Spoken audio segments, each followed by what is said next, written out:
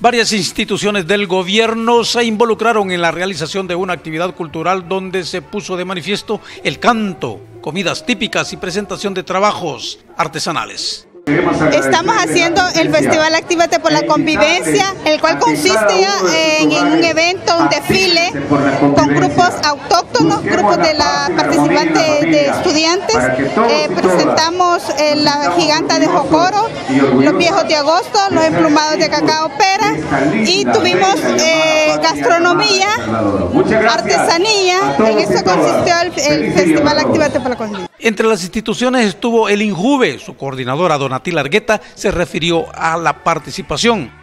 Hemos participado a través del stand eh, con pitacaritas, con información sobre lo que hace el INJUVE, juegos mentales, eh, e información sobre los temas que trabajamos y también en la coordinación de la actividad, en el tema de gestión hemos estado participando como coordinadores.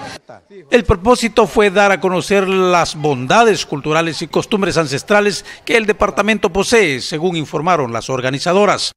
Mire, el objetivo es para que los jóvenes se incluyan, que se pongan activos y que pues eh, prácticamente eh, estemos en armonía todos, todos, que nos unamos a hacer cultura de paz.